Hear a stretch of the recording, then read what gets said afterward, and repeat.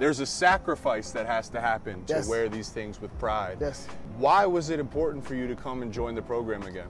Man, when I got the opportunity, coach called me and I was just like, I don't know yet. I'm, I'm nervous about coming back. But I was like, man, what other place would I rather be at?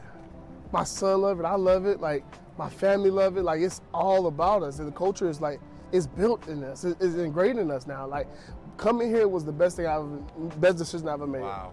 Wow. My dad, before he passed, told me he was like, go back to Michigan. Wow. He was like, that's the place you, that's your home, that's your second home. Go back to Michigan.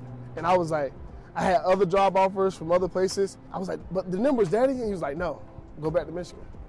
That's exactly what I did. I was like, I'm going back to Michigan.